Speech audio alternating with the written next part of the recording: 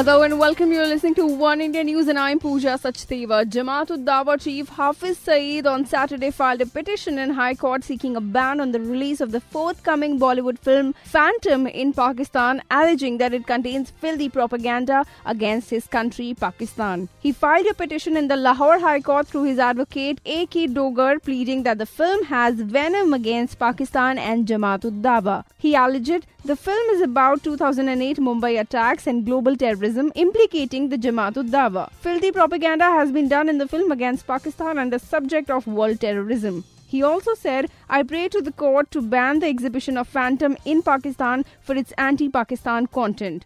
Lahore High Court's Justice Shahid Bilal Hassan fixed today as the date for hearing this petition. Hafiz Saeed is a mastermind of 2008 Mumbai attacks. The film Phantom stars Saif Ali Khan and Katrina Kaif and it's about post 2611 attacks in Mumbai and global terrorism. In the past, Saif Ali Khan's Agent Vinod and Salman Khan's Ek Tha Tiger were also banned in Pakistan, although they were freely available on CDs and DVDs in Pakistan. That's all for now, but don't forget to get all such updates here on Oneindia News. So please go ahead and subscribe us. Take care.